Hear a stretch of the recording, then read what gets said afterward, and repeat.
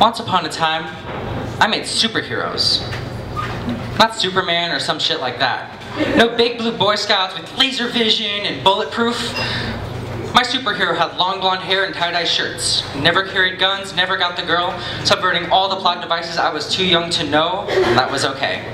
There was a hero who saved animals, a hero who befriended the kids at lunch, and a hero who played piano, and I was eight years too young to know how to write stories, but I had notebooks of them. I was learning to fly.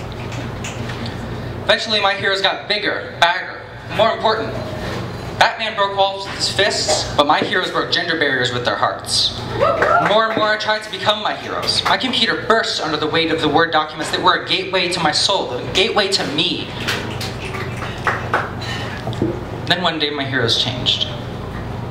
My heroes, my spandex-clad gods carried swords. Literal crusaders, the keepers of cliche.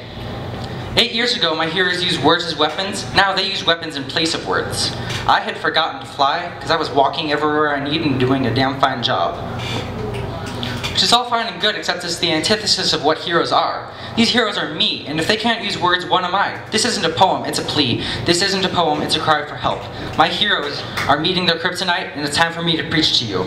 Save them. Don't lose your heroes. Keep your creativity. It's not too late. Not for me, not for you. Keep them alive. We need them. Because if you if you learn to be your heroes, eventually you learn to fly.